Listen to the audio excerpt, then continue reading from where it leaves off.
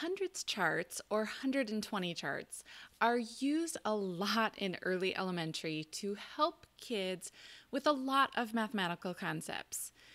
In particular, they are often used for addition and subtraction. However, I have seen kids struggle way too much with this model, and they aren't learning the conceptual understanding through the model. And often I see kids using it as a crutch instead of actually thinking through the addition and subtraction. I'm Christina Tondevold, the recovering traditionalist, and I hope that you will stick around as I make the case against hundreds charts for addition and subtraction in our quest to build our math minds so that we can build the math minds of our students. Now, first thing, don't get me wrong, I really actually love hundreds charts, just not for addition and subtraction hundreds charts build some really cool mathematical concepts for our young kids. They they get to count, they get to see patterns, they get to do sequencing, what comes next, what comes before, what comes after, all of those kinds of things. The hundreds chart is really great for building those ideas. The problem starts to become when we try to use that model to help our kids model addition and subtraction on the hundreds chart.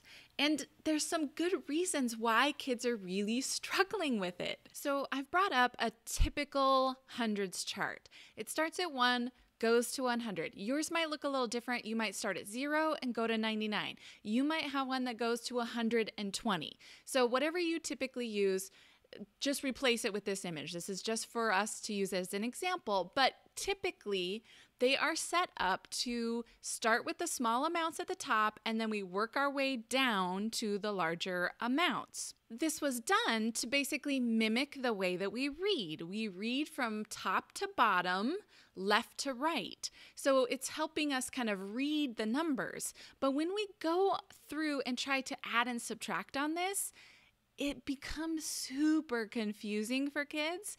And I'm going to link below this video to a great post by Graham Fletcher that talks about flipping this. And that leads into our next part about why this is so darn confusing. So let's just take a look at what it would look like if kids tried to add or subtract. I'm going to use an addition example here. So let's go to 27 plus 20. This is one of the typical ways that we want kids to add is when they're doing multiples of 10 because they can hopefully easily jump by multiples of 10. You've got some kids who might have to count one by one. I get that. But for this example, if a kid is doing a jump of 10, it might look like this, and then another jump of 10. But the problem is, this seems backwards to them. And Graham talks about it in his blog post a bit more extensively than I'm going to here. But basically, kids don't get why they're going down a chart when the number is actually getting bigger. To them, when something gets bigger, we should go up. When something's getting smaller, we should go down. And this model, the hundreds chart this way, does not mimic that idea. And yes, I get that we should have kids understand that it doesn't matter which direction we're going, right? On this 100 chart, it's just like on a number on a number line. You could go either way, really, but we want kids to first have that conceptual building that when we go up, when we're adding, the numbers are getting bigger, the quantities are getting bigger. But it doesn't feel like that when they're using a hundreds chart because they're going down the hundreds chart. So Graham suggests that we should move into helping uh, kids see that by going bottoms up with our hundreds chart. So you start at the bottom with your hundreds chart and then you move up the chart. So you can still look at a lot of those patterns and stuff, but as they're moving and adding by multiples of 10, so if we looked at the 27 and we wanted to add 20 to it, you can see those hops of 10 are now going up the chart, which just conceptually feels better to those young kids that we're going up because the number is getting bigger. And if I was subtracting, we would be going down that chart. And that just feels better to the kids. I know it doesn't seem like a big thing, but you guys, it really is. When you switch your hundreds chart and do this, it just feels better to the kids. It may seem awkward to us because we're so used to the hundreds chart starting at the top and going down, but I'll tell you, the kids love it.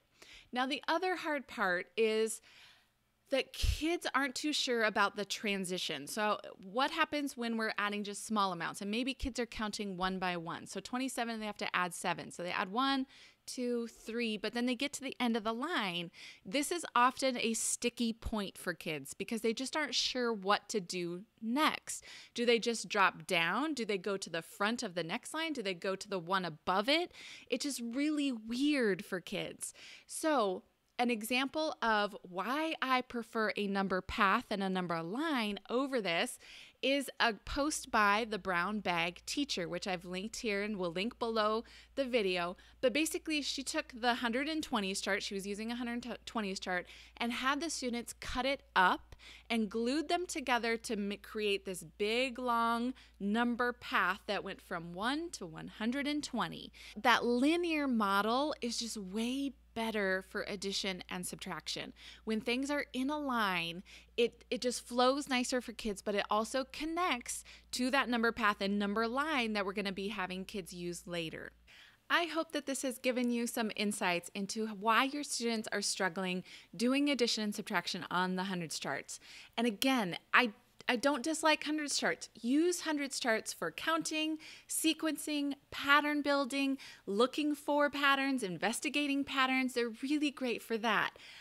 But I just don't see kids using hundreds charts in a conceptual way that builds great number sense and thinking strategies. And remember, the models that we have kids use should be a model of their thinking. They shouldn't have to do more thinking to use the model than they are to focus on the actual mathematical content. So if the students are taking more time and you're spending more of your time actually teaching how to use the hundreds chart versus how to add and subtract, then it's the wrong model. The focus should be on addition and subtraction strategies, not using that particular model.